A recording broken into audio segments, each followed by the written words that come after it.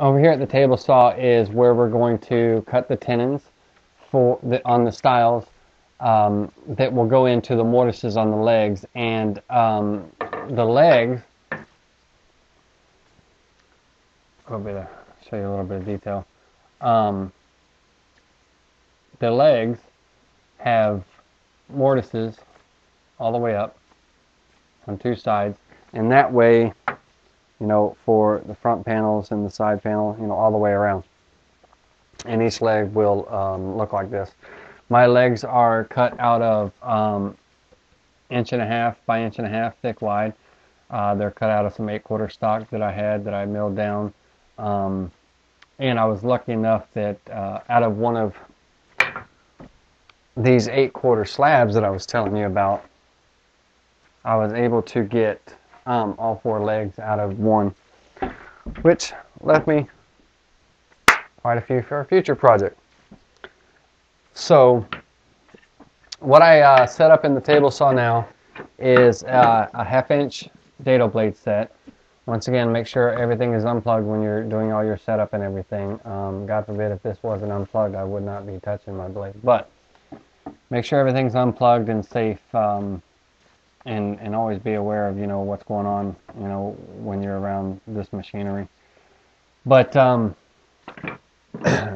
on the stiles my tenons are three inches three eighths of an inch thick and they're a half inch wide.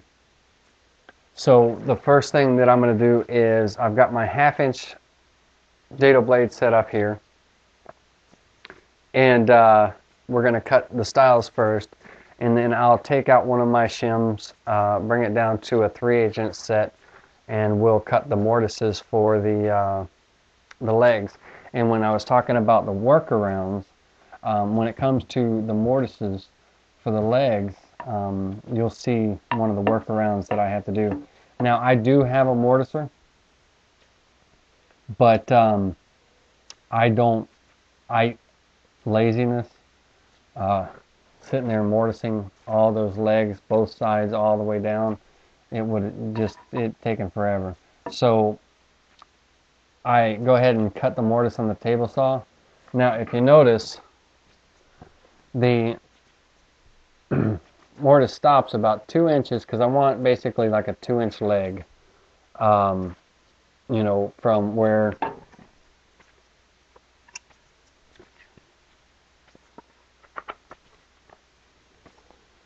when my styles are in there, it gives me a, a two inch leg, um, and then I cut a little detail here. But so, what I'm trying to say, the point I'm trying to get at, is my mortises stop, you know, about two and three eighths inches before I get to the end of the board. And normally, you know, when you're running through a saw, you're going straight through. Well, in this particular instance, and I'll show you exactly how I did it, um, so you can be absolutely safe as possible doing it. Uh, once I got to a certain length or distance on my leg where I wanted the mortise to stop, I would take the piece off and then I would go over to my mortiser and mortise the last little bit, uh, you know, because the depth of the, the, the 3 inch mortise, when you get close to the end, you know, of course, that's the round blade, it's going to be a lot shallower and it's going to kind of be like a little swoop up. So you have to clean it up and bring that down to uh, the last depth. Now, if you don't have a mortiser, then by all means you can, you know, basically chisel that out. Um, working with hickory, make sure your chisels are sharp and uh, clean up that last little bit. It was about, you know, two inches of uh, cleanup that I had to do. So basically, I did just do two inches and two inches all on all four legs of my uh, with my mortiser, um, and then uh, go back and kind of clean everything up with a chisel. And we'll get into that in a minute, uh, and I'll show you that workaround. But one of the things now, depending on how your shop is set up. Um, you want I, I, the term. I mean, I've heard it used before. I think it was George over there at uh, Woodworkers Guild of America, you, want your tools to kind of talk to each other, and that's that that's exactly how you put it, and that's exactly correct. Uh, with my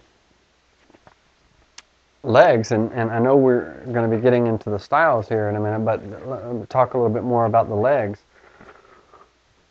When I run my legs through the table saw, I have to be able to go over to my mortiser and have the same exact distance on my fence.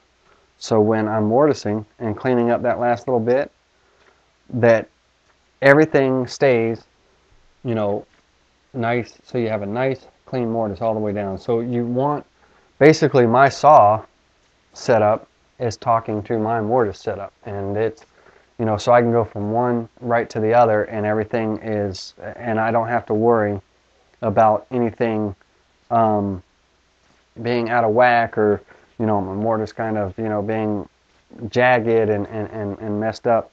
And it's all in your setup.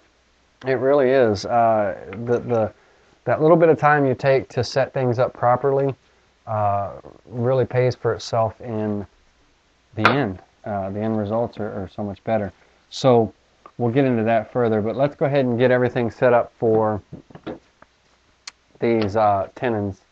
And um, I know I've got this here that I've done earlier, but I have just the scrap, you know, test piece that I made earlier as well, so I could have it for future reference um, of my tenon setup.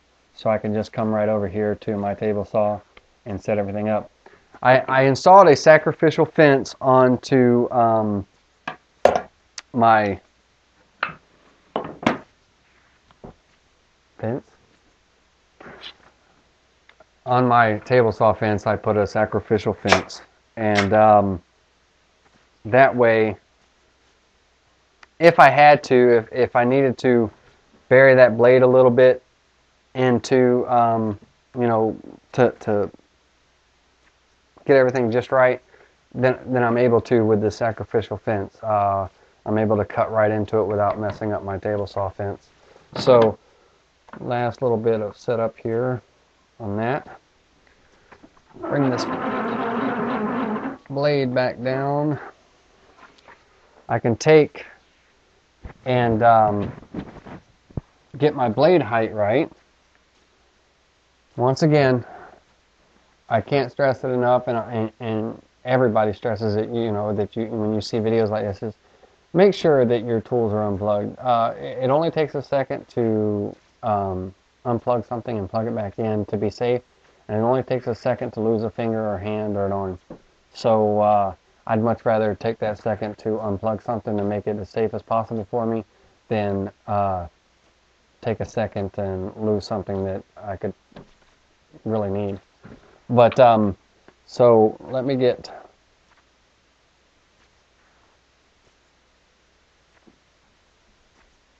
everything set up here. Okay. And now I can bring my fence over.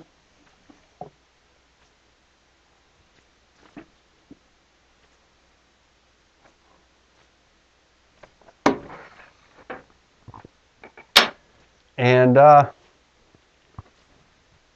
we're ready to go. So, take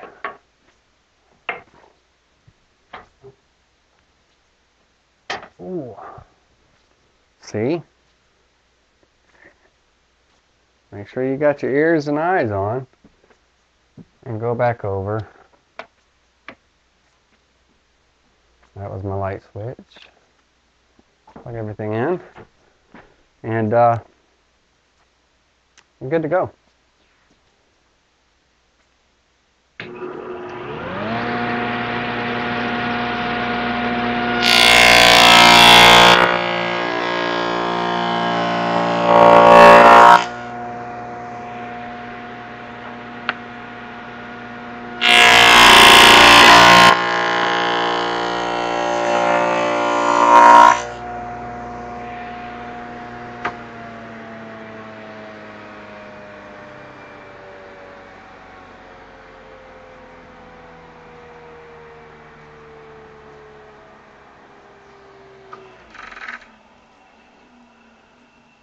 One thing I forgot to do was turn on my dust collection system. I hate that.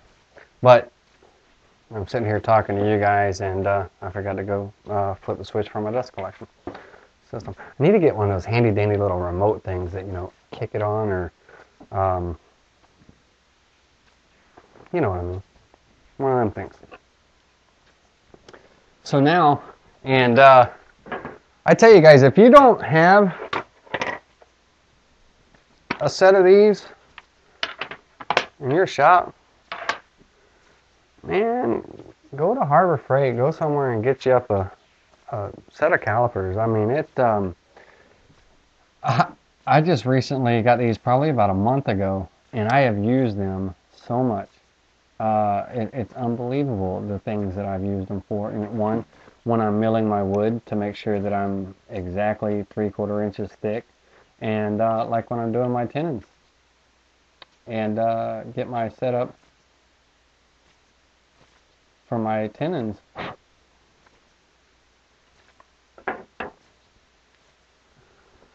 And let's see here if you can. You won't be able to read that. The lighting's terrible, but anyway, three eighths, perfect. So, it, and and I mean, I could, yes, sit there and you know try to you know, is it going to fit? Uh, you know, is it tight? Is it this and that? And then go back and readjust my blade. But um, these calipers have just uh, makes it so much easier. I don't I don't have to because the more times you sit there and, and test fit pieces and all, it kind of it that snug fit that you might have had when you first started.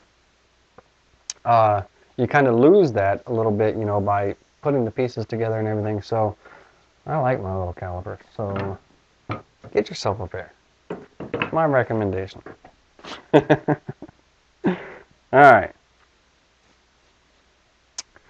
Um, so that's the setup for uh, cutting that tenon on the stiles. And basically you want to go through and, uh, this is my test piece again, you want to go through and repeat that process for all of your stiles. And um, let's see, I've got one, two, three, four, five, six, seven, eight, eight stiles to do. Had to do the math there for a minute. Um, and uh, then I'm, you know, everything's set up. I can run them through, get them done, and uh, move on to the legs. And uh, that's what we're going to do. So I'll mill these. You guys go ahead and mill yours. I'm just kidding. You know you're watching the video sitting at your desk and not at the shop.